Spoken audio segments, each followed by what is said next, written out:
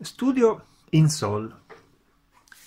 Siamo alla pagina 23 del nostro primo libro e troviamo per eh, questo piccolo brano di otto battute una nuova posizione che potremmo chiamare la terza posizione.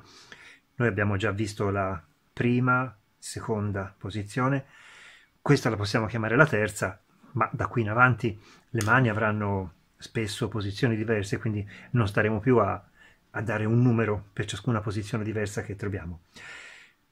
Dove vanno sistemate le mani? In questa immagine, in questo disegno, si vede abbastanza chiaramente. Sia la mano destra che la mano sinistra devono stare sopra alle stesse note, cioè Sol, La, Si, Do, Re. Il mignolo della mano sinistra va sul Sol, e così via, un dito accanto all'altro, un tasto accanto all'altro. Come riferimento possiamo vedere che il dito numero 2, l'indice della mano sinistra, deve andare sul Do centrale. Poi ci sono i due soliti spazi vuoti e la mano destra, anche lei su Sol, La, Si, Do, Re. Quindi la posizione di partenza è questa. L'indice sul Do centrale, Sol, La, Si, Do, Re, Sol, La, Si, Do, Re. Allora, il brano di per sé non è estremamente difficile. Dobbiamo vedere alcune note nuove.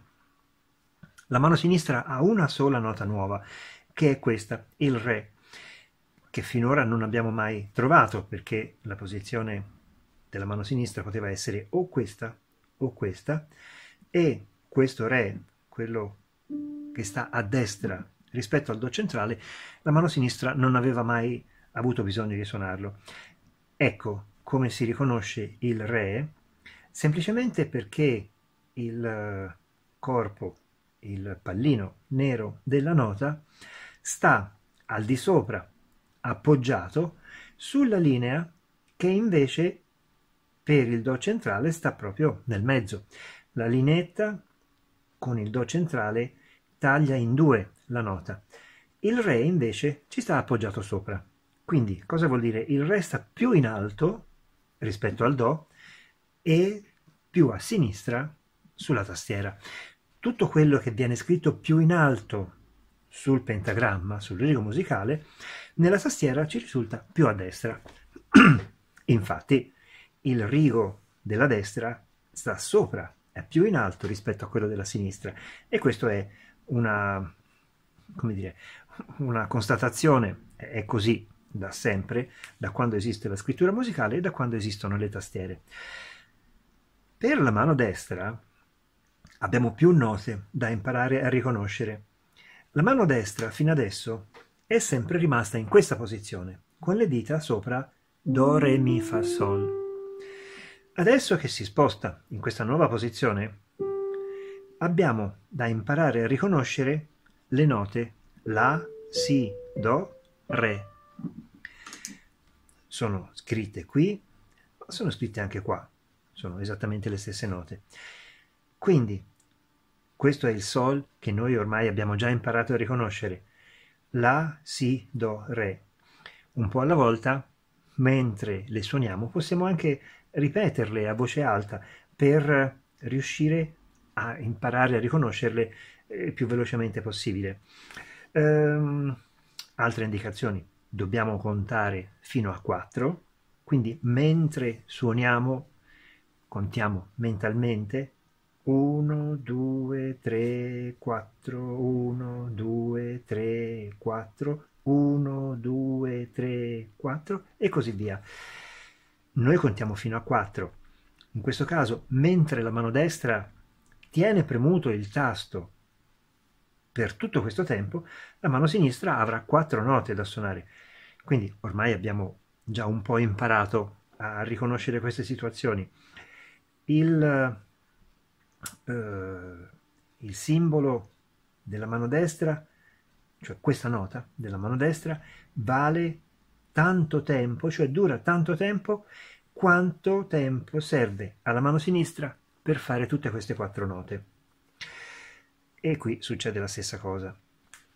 Possiamo volendo possiamo fare l'esempio del gelato.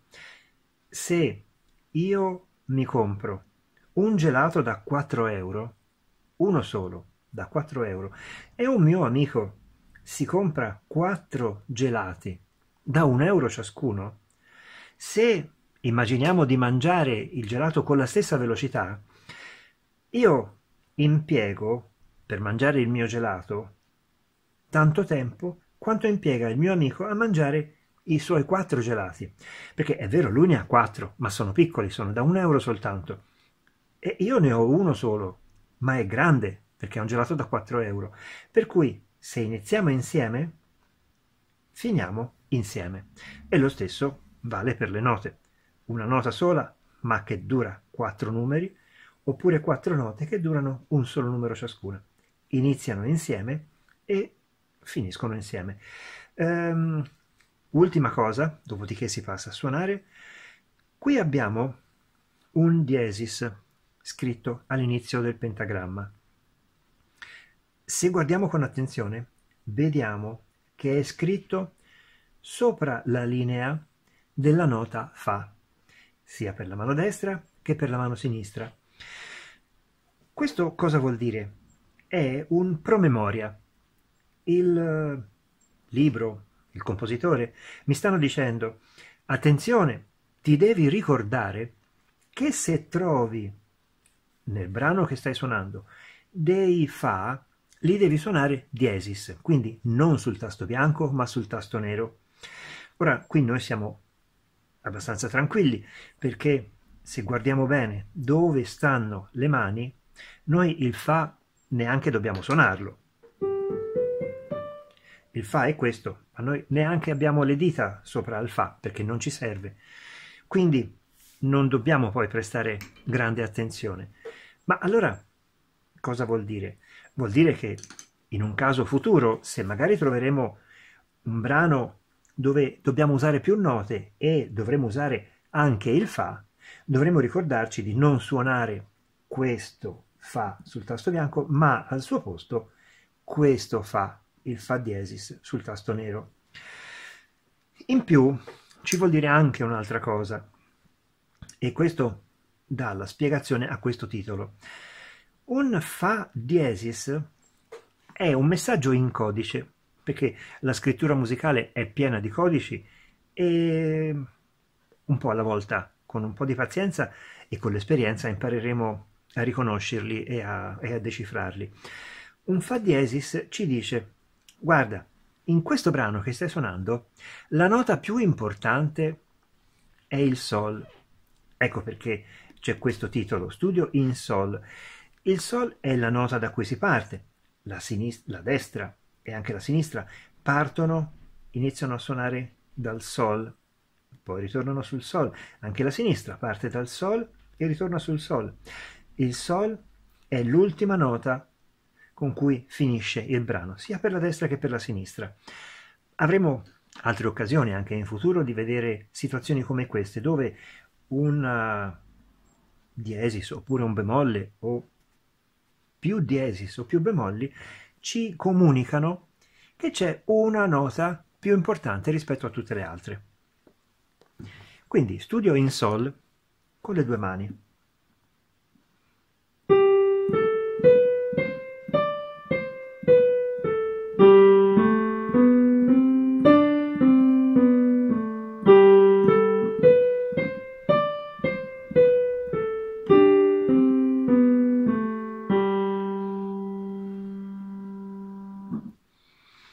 Quindi vediamo che qua in fondo la mano destra ha queste due note legate.